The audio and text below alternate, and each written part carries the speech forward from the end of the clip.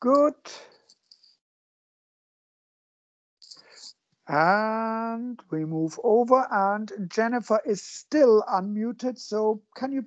Yes, very good. All sorted. No worries. Perfect. We haven't started anyway. So share screen and let's hope for the best that this works. And hopefully you can see my screen. Can you see my screen?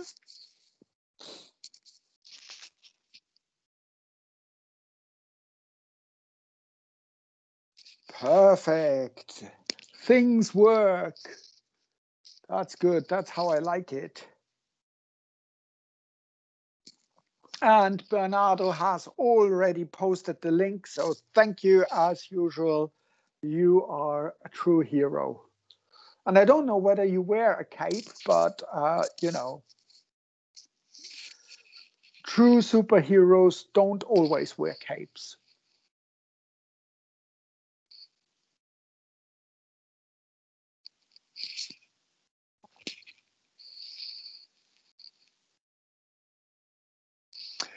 Absolutely right.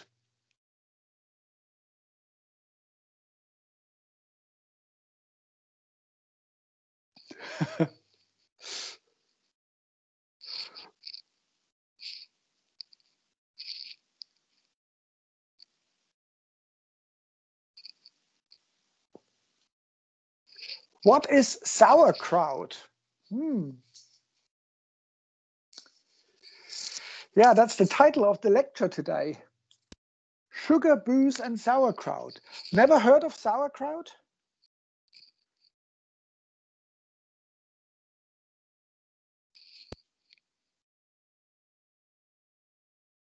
You haven't lived.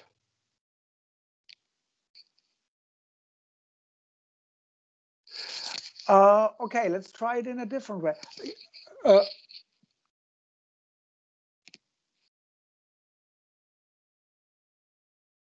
Ah, interesting. It's fermented cabbage, indeed. I think the Japanese version is called kimchi.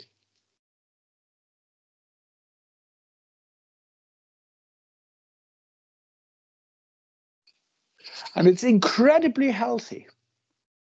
Oh, it's Korean. Yes, sorry, sorry, my bad. It's a Korean version, kimchi.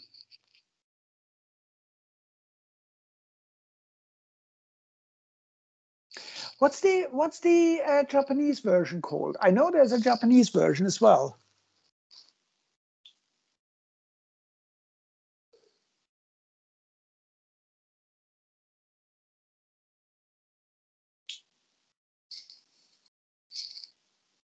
Uh, I don't think it is cabbage miso. I think uh, miso is more fermented soy sauce. But uh, at the end of the day, it um, uh, it's sort of, we will come to that. Okay, so let's get started because we have a lot of ground to cover today with uh, this uh, with metabolism. Uh, last lecture, I started with the uh, uh, glycolysis, and we basically started off with discussing that um, when we are, for example, looking at skeletal muscles, we have only very, very limited energy resources at our disposal. Thank you very much. Um, and uh, we have only ATP in our skeletal muscle for about mm, roughly 10 seconds. And that's predominantly in the form of creatine phosphate creatine phosphate and phosphate I usually abbrevi abbreviate as a P with a circle around it, which basically means uh, phosphate. This creatine phosphate um, can transfer the phosphate group onto ADP and with the help of the enzyme creatine kinase, um, it can form ATP plus, and of course, we have got creatine left. So when we do a lot of strenuous exercise, this ATP then will be uh, very quickly broken down to ADP plus uh, phosphate, inorganic phosphate. So if we do a lot of exercise, short-term exercise, we accumulate creatine and phosphate. Uh, and also, if we don't have any other means of restoring the system, like for example, um, if we have, let's say, if if we take if we are really mean, we take a fish from an oxygenated tank with lots of uh, oxygen in the water, and we put that the poor fish into a deoxygenated water. What will happen is that we immediately see uh, an increase in creatine and phosphate because the uh, the fish doesn't have at the moment doesn't have any other way of restoring uh, ATP levels. So that is what happens in the first 10 seconds for the uh, production of ATP, which we then can use. But what happens after 10 seconds? Well, we need to get more energy and we would get this energy from this process of glycolysis and again, here is the image, and you can find that on, um, yes, uh, you get a very unhappy fish. That's, uh, that's true if you do that. Uh, so here is the process of glycolysis, and we briefly went through it.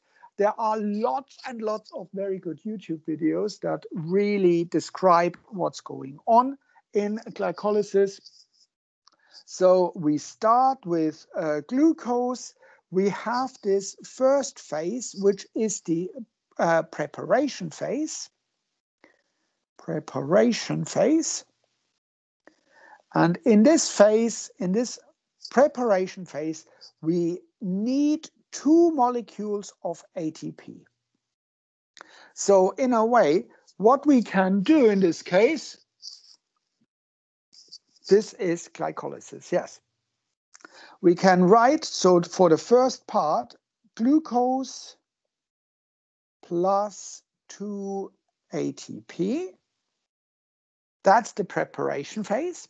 And we also, if we sum it up, um, we then need uh, also two molecules of two NAD plus molecules. We will use these two NAD plus molecules then in the second phase, that is the what is called the payoff phase. And in this payoff phase, we split the glucose into two three carbon compounds. And eventually we end up with this pyruvate. So you can sum up glycolysis as uh, this reaction, glucose plus 2 ATP plus 2 NAD plus, gives 2 times pyruvate. Pyruvate. This molecule looks like this. COCH three. So it has three carbons. Glucose has six carbons. So that's why we have two uh, pyruvate. And we get, in this payoff phase, we actually get two times two molecules ATP back. So we get a total of four ATP plus two molecules of NADH.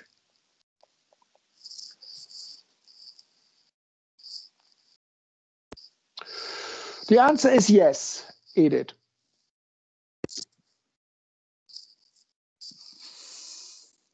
So this is basically the uh, summary equation for uh, glycolysis.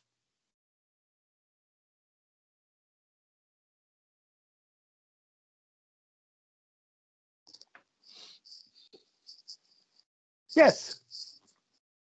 The answer is yes. So this is glycolysis.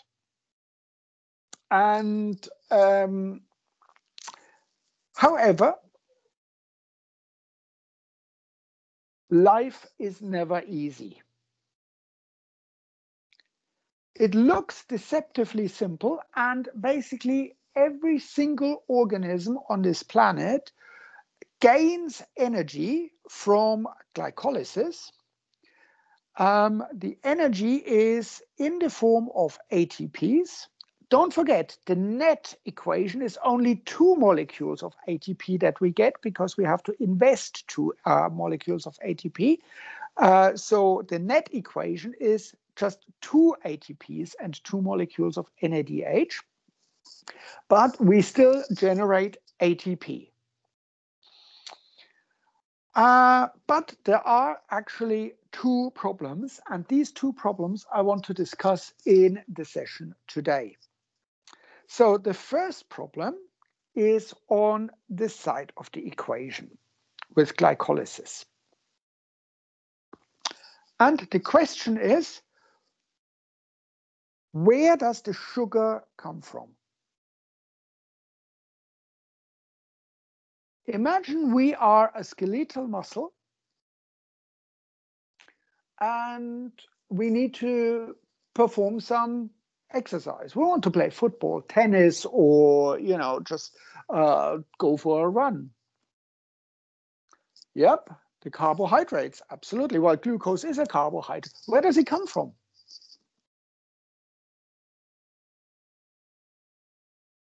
We need, as a muscle, we need to do some work. It's supplied by the blood. Ultimately, you are absolutely right. But if you are a muscle and you have to, you know, run now, um, there isn't uh, a lot of glucose in the blood, actually. So what would you, does anyone know uh, what is the uh, usual, usual uh, blood sugar level after, say, three hours after a meal? How much glucose do you have?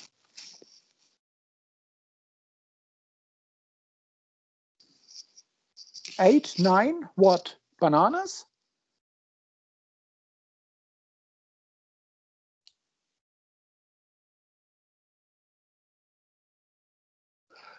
Uh, pretty much. Uh, it, it yes, uh, it's in the range of four to six uh, millimolar. That's what the usual blood sugar level is after a meal. That's right. Um, if in, in a healthy person.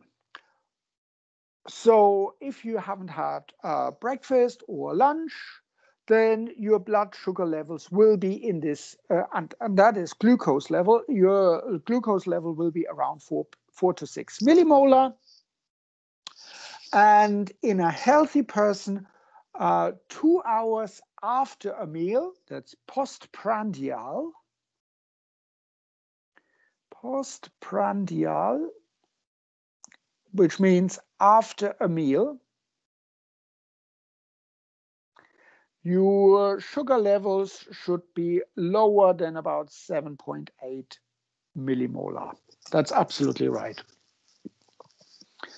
And if you are above that, then there is an indication for some kind of dysregulation of the carbohydrate metabolism, usually which manifests itself in some kind of diabetes. Absolutely right. During a meal, uh, you can easily reach 20 millimolar, but uh, that will be very quickly then uh, reduced to lower than, say, 7, uh, 8 millimolar uh, in the uh, in the phase afterward. So there isn't a lot of glucose hanging around in the blood. And by the way, this uh, glucose in the blood is not really used for muscle activity. It is used for the brain because the brain cannot do without any glucose. But Reynolds already said um, muscles actually can store glucose. Muscle, and these are the skeletal muscles, to be clear. Heart muscle doesn't store a lot of glucose, and the liver. And the liver can store glucose. Although we have to be careful. I put that in quotation marks because it is not glucose that they store. Um, how is the glucose stored in muscle? Does anyone know? Absolutely right. It stores it as glycogen. So glucose is stored as glycogen. And the reason for that is that glycogen is basically um, easier to handle. Uh, it's not soluble in water. Uh, it's basically insoluble in water. And uh, if you were to achieve this, if you want to store glucose, glucose itself is soluble in water and it would almost bind all the water. So everything in the cell, in the muscle cell, will, would turn into something, the consistency of honey or something. And that can't be good. So therefore, we store glucose as glycogen. So what is glycogen actually? Well, glycogen is a, a large molecule made up of glucose, where the glucose is connected by alpha 1 4 glycosidic binding or bonds. Glycosidic bonds. Plus uh, alpha 1 6 glycosidic bonds. And it is absolutely right, it is branched. So what does it look like? So I'm trying to draw some glucose. And of course, you can all do that as well.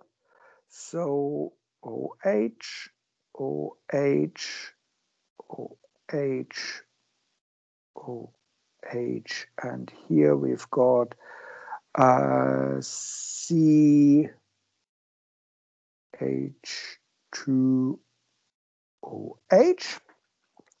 That's position one, two, three, four, five, and six.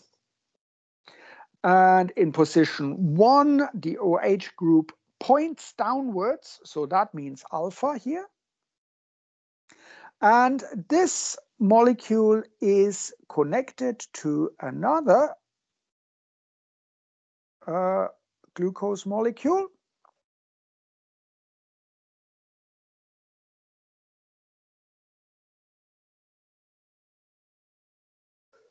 OH, CH2OH, like that.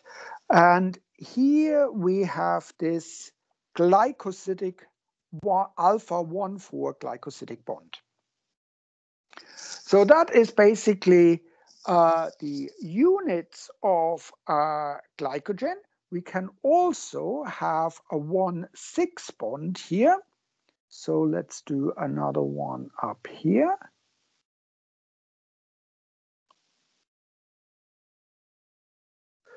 OH, OH, OH, OH, CH2OH,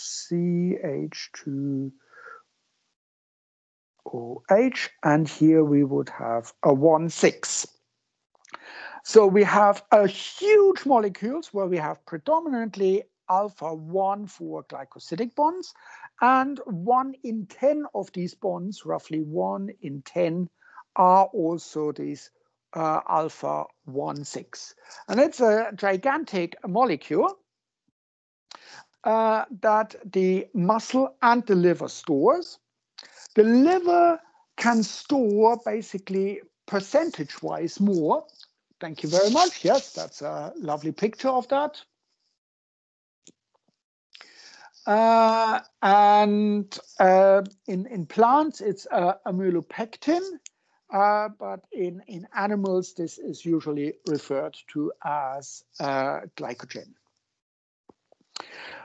Muscle, uh, liver can percentage, per, percentage wise to its own weight, it can store more glycogen. Muscles, however, we have far more muscle mass than liver, and therefore if you put that all together, this glycogen store in the skeletal muscle is about three times the size of uh, the liver storage. So this is how we can store glucose.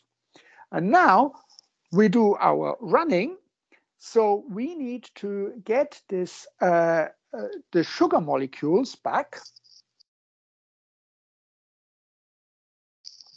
Uh, and uh, we uh, need to break down actually this glycogen. So how do we do that? Now there is a really, really clever trick in it because uh, let's say we've got uh, these glycogen molecules. So we've got, and I write that as gluc one for gluc one for look one four. So you you basically get the gist. And here we just uh, do a one six uh, look something like that where we've got the the branch point and the so if we do exercise we need the glycogen. And we've got uh, in a skeletal muscle, we've got glycogen for about mm, up to two hours of exercise.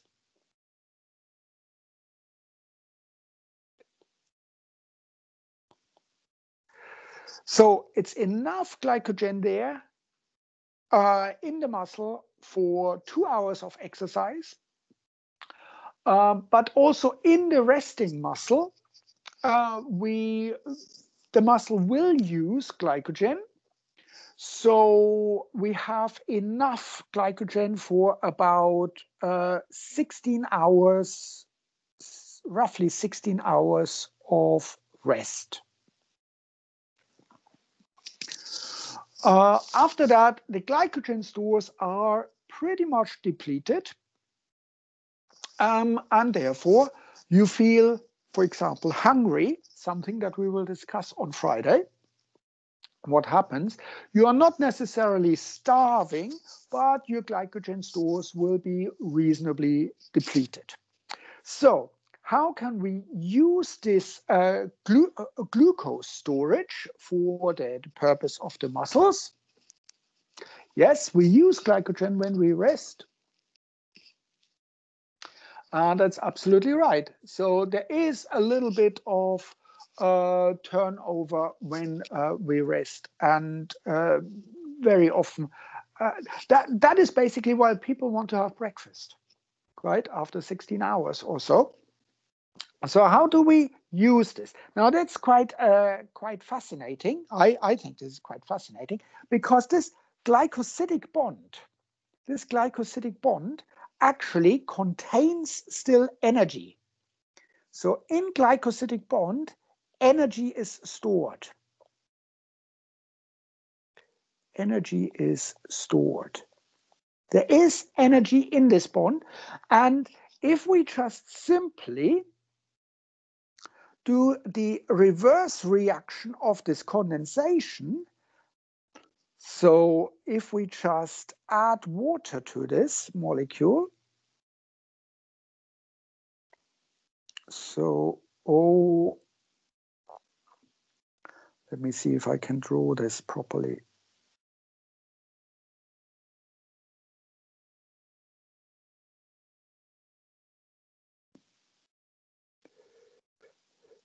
So if we just add water to this, this would be, what would you call this process? If you add water and break that bond.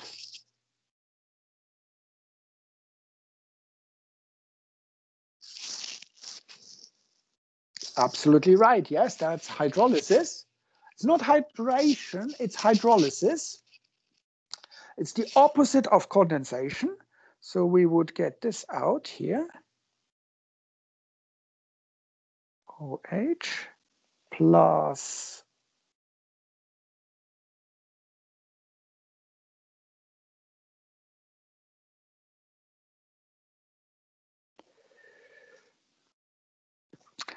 So if we do, absolutely right, uh, if we do hydrolysis, we would waste this energy that is stored in here.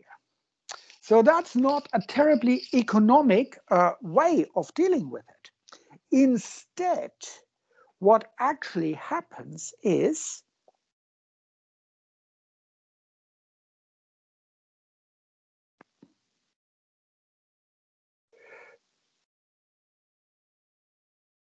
we carry out a slightly different process. We add a phosphate group. And what we get from this is there is enough energy to use a phosphate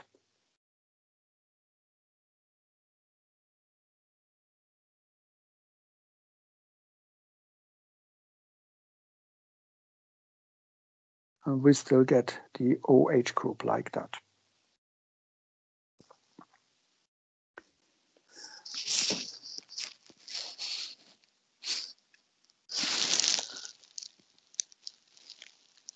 And that is exactly what I'm describing. And I was just about to ask you what you would call a process that looks like this. So when we use water, we, we it's called hydrolysis.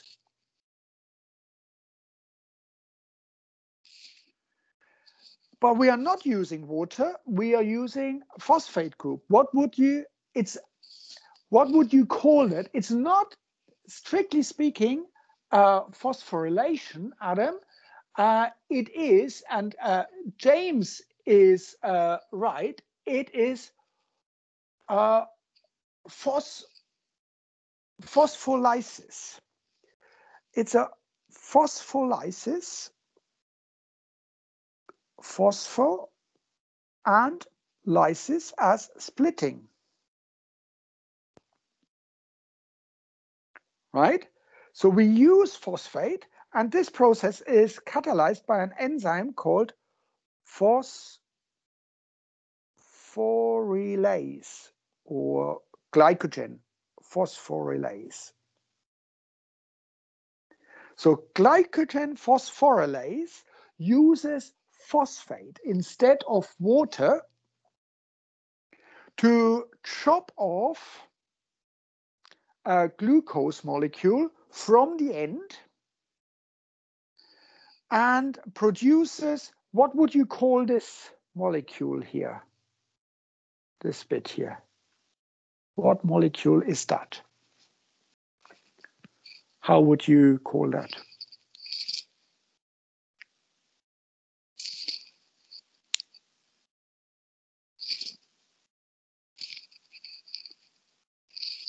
What molecule is that?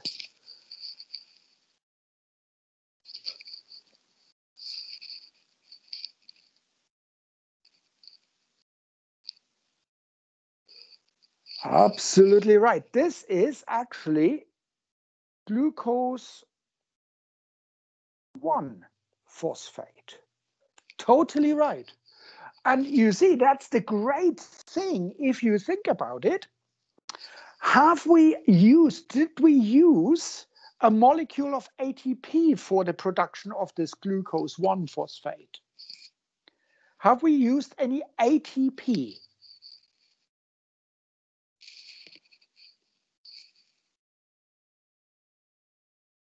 No, we haven't used any ATP. So this is the beauty of using glycogen, because remember, when we just use glucose, the first step for the glycolysis is actually we need to use ATP to get a phosphorylated glucose here. In this case, it's glucose 6-phosphate. Ah, so we are basically not have to invest a molecule of ATP. We get already a glucose 1-phosphate. But wait a moment. Um, it's glucose 1-phosphate. Uh, what do we need for uh, glycolysis as the step?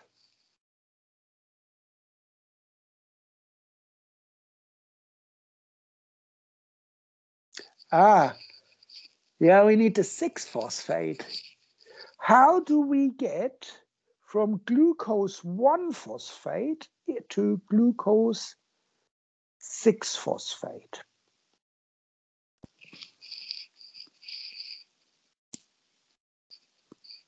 Hmm.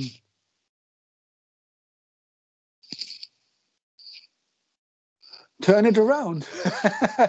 uh, sort of. Actually, we employ an enzyme as usual. And this is just simply an intramolecular shift of the phosphate group we don't need any uh, other molecules for that. We just need an enzyme. And these enzymes, they are called mutases. So here we have a mute, mute, sorry, I can't spell. Mutase. A mutase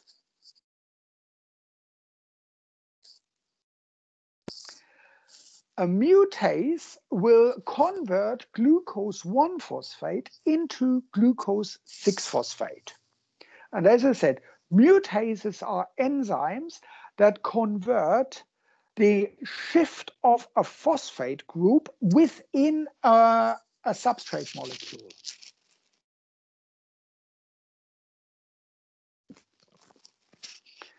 And then we end up with our glucose 6-phosphate.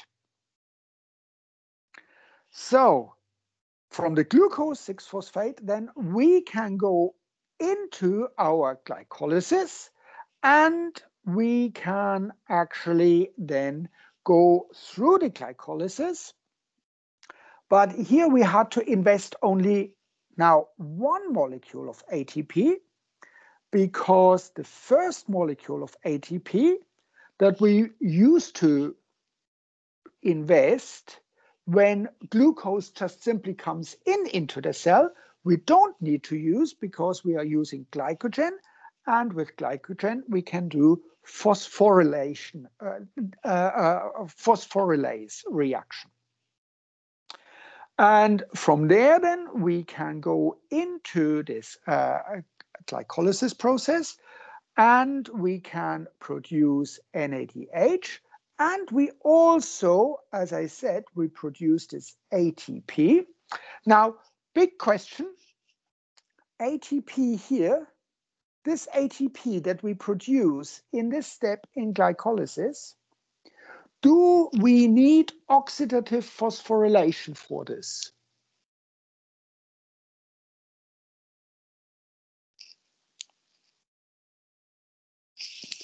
do we need, for the production of this ATP here, do we need oxidative phosphorylation?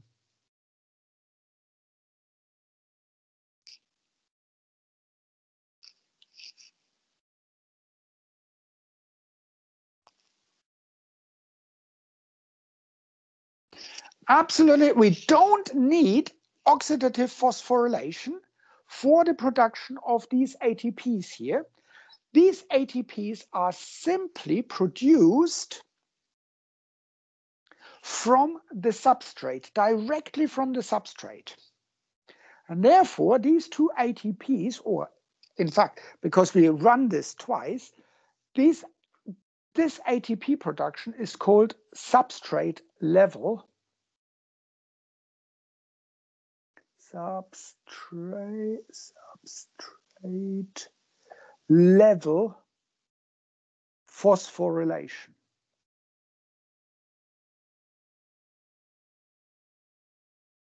We don't need to feed anything at that point into the uh, respiratory chain. And it can be a totally uh, anaerobic process. Substrate level phosphorylation does not require oxidative phosphorylation. It does not require oxygen. Absolutely right.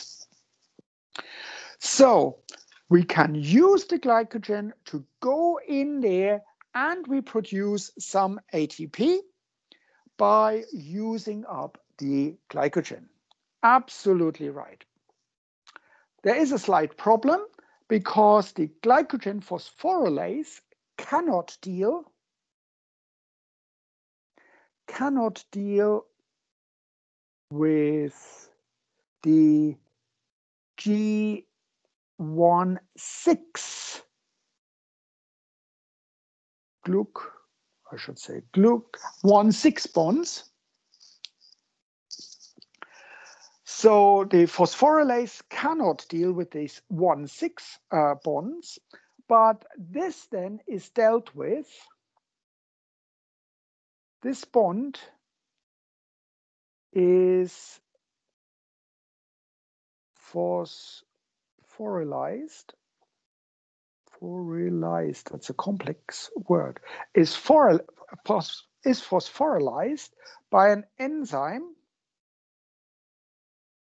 Actually, it's several enzymes, by enzymes called debranching enzymes.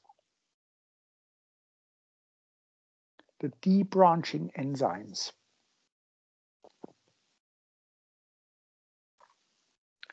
So basically, we have the material to use the glycogen that is stored in the muscle when we need it.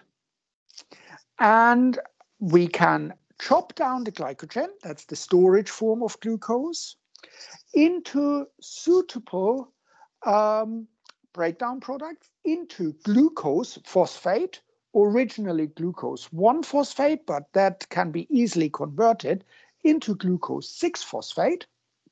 And uh, this process is actually fairly, fairly quick. And we can use the sugar, the glucose, uh, to generate ATP molecules through substrate level phosphorylation. So we don't need any oxygen or anything like that. And we can actually use this uh, glycogen for the muscle to do some work, to run, or do something else. It's phosphor phosphor phosphorylase. It lyses the bond with phosphor or phosphate. It's not phosphorylated. It is a phosphorylysis. It's a different thing. Phosphorylated means transferred from usually ATP. In this case, we have phosphate transfer and lysis at the same time. So I hope that makes sense. So again, we have glucose or let's say glycogen, glucose, and um, we then have now let me let me write this in a different let's take the glycogen away. So we've got the glucose plus NAD plus actually 2 gives us 2 times pyruvate COCH 3 plus 2 ATP plus 2 NADH.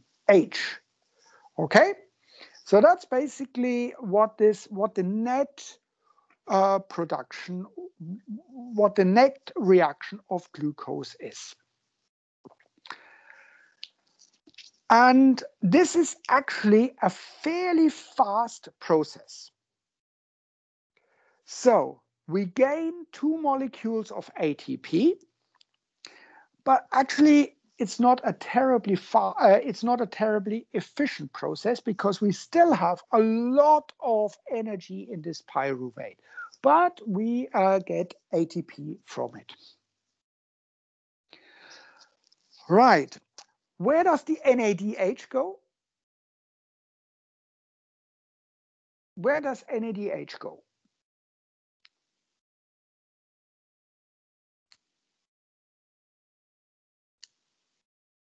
What do we do with the NADH? Yeah, where does it go?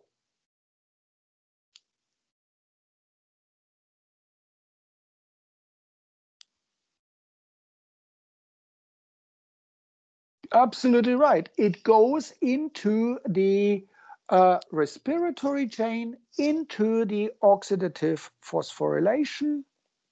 So here we go, respiratory chain, respiratory chain.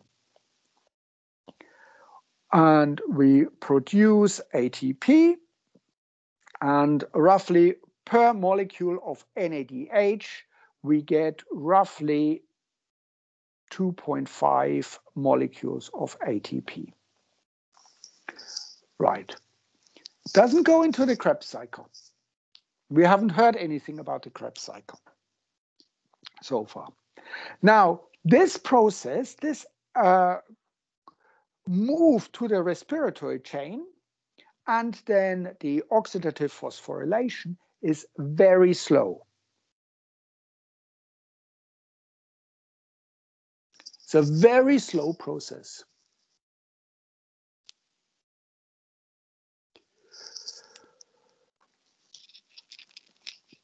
So can you see a problem with that? The NADH is removed very, very slowly. What is the consequence of that? Glycolysis is a very fast process.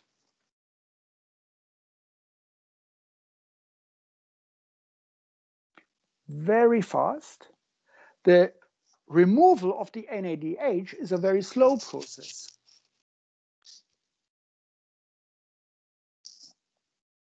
And you can use any decent, any decent biochemistry textbook. Yes, Vernon, you're absolutely right. NADH, we build up NADH. We gain lots of NADH. What's the consequence? We have lots of NADH what happens to NAD plus?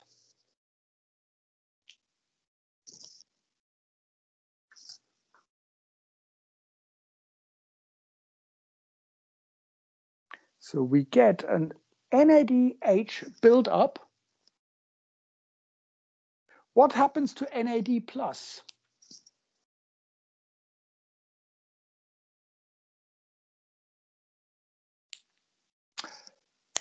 Smashing, Ellie. NAD plus is depleted. Because all of our NAD is in the NADH form and we have no NAD plus left.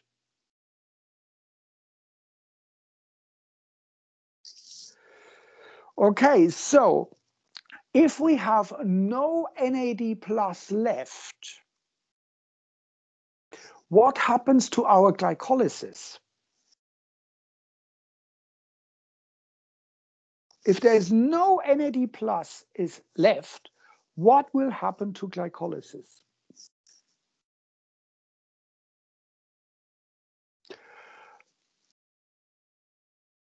Absolutely right. Glycolysis stops.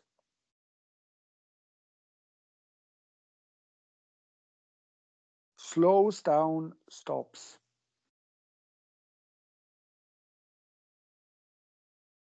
What happens to ATP? Because we generate ATP through glycolysis.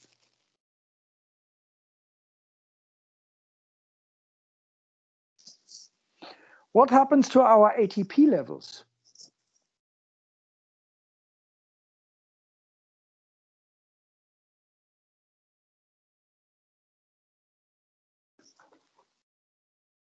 ATP plummet as well.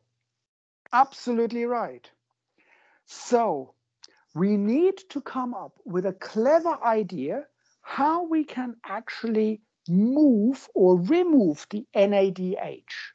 And luckily, muscles have a fantastic system of dealing with that.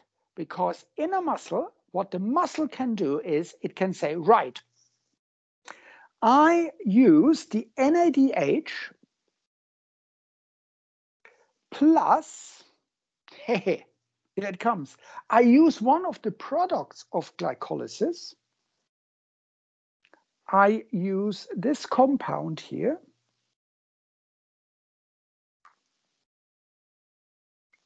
I use pyruvate.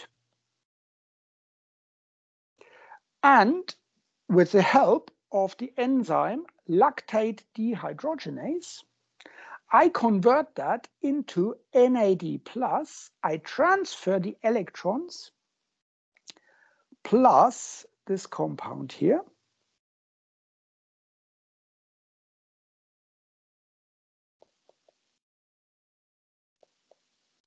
This compound is lactate.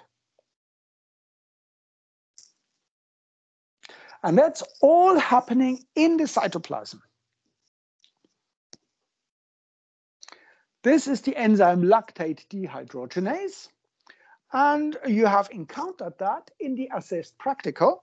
This is the reaction that happens in the muscle. This lactate then, so what the muscle gains is they gain back NAD plus. So the NADH that they generate here, they transfer onto pyruvate. They transfer it onto pyruvate with the enzyme uh, lactate dehydrogenase. They regain NAD plus, and this NAD plus helps the glyco, uh, glycolysis to run again. But now we've got lactate here.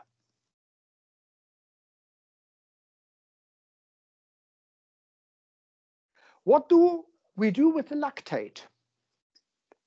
There's a very clever trick. The lactate in the muscle is actually transported in the blood to the liver. And in the liver, this lactate is then converted, and we discussed that on Friday, into glucose again.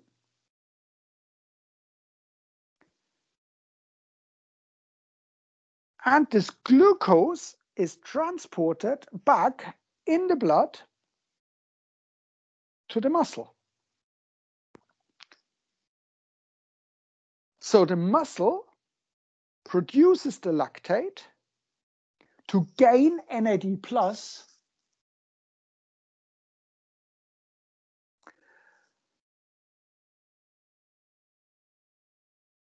The lactate goes to the liver. The liver converts it into glucose and delivers the glucose back to the muscle. This actually, this mechanism is called the Cori cycle because it was discovered by two Canadian uh, physiologists, Cori and Cori, who actually discovered this uh, really uh, useful mechanism. And because of the Cori cycle, the muscle doesn't run out of NAD+.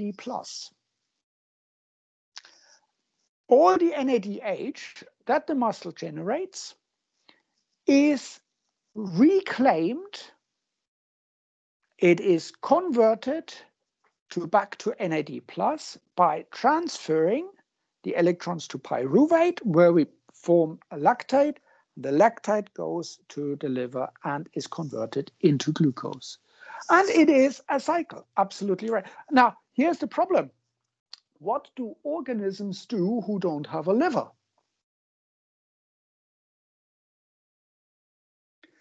They surely face exactly the same problem.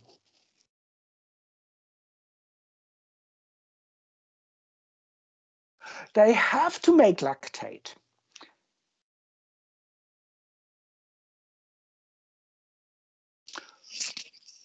What do organisms do who don't use oxygen?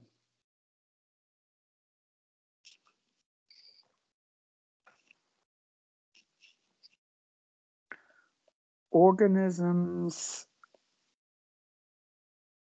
that don't use oxidative respiration.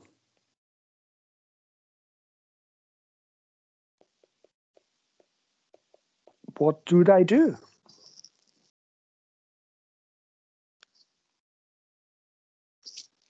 Actually, they do exactly that. They do NADH plus pyruvate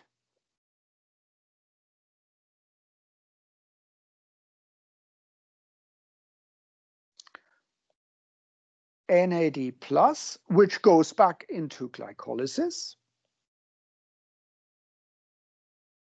where you get ATP from, plus lactate. And this lactate then is secreted. This is fermentation.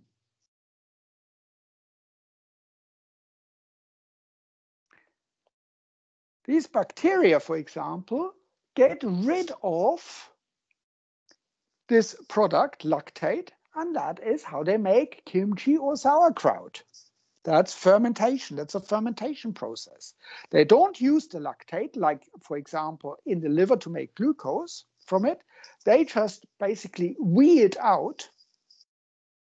And that's what we eat uh, when we have, uh, let's say, uh, fermented products. Or the alternative is what we can also do is, which is probably more palatable for many of you, NADH plus pyruvate.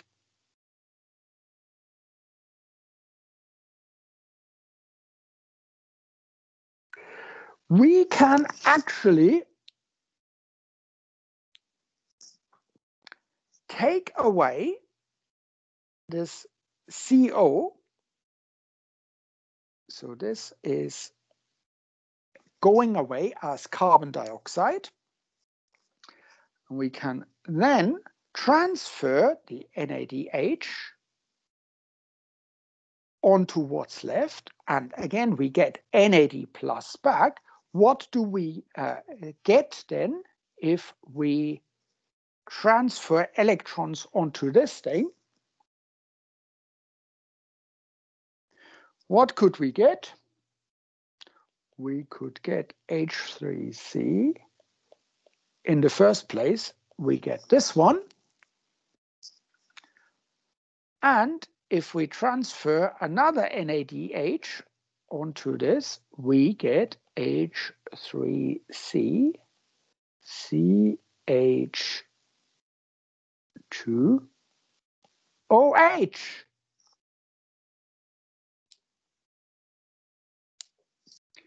And this is alcoholic. Well, if you like, fermentation as well. So this process here is predominantly found in yeast. When yeast doesn't have oxygen, And this one here is pyruvate, yes. So alcoholic fermentation happens if yeast uh, doesn't have enough oxygen, so it tries to regain the NAD plus, which is required for glycolysis, by transferring the NADH onto decarboxylated pyruvate. And that's why I called this session today Sugars, Glycogen, Booze, and Sauerkraut. So I hope you enjoyed that. I'm reasonably hungry now. And as I said, any decent um, biochemistry textbook has all these processes described, but there's also an online book. It's the fifth edition of uh, Berg, Tymoczko, and Stryer, which I posted the link for, uh, where you have everything online and you don't have to uh, fork out a lot of money. So uh, if you don't have any questions, thank you very much. And I hope you learned something from it. Take care and be good. And I shall see people who are doing BI 3 or 8 tomorrow for a little bit more statistics. And don't forget, Friday we have two sessions. Take care. Bye-bye.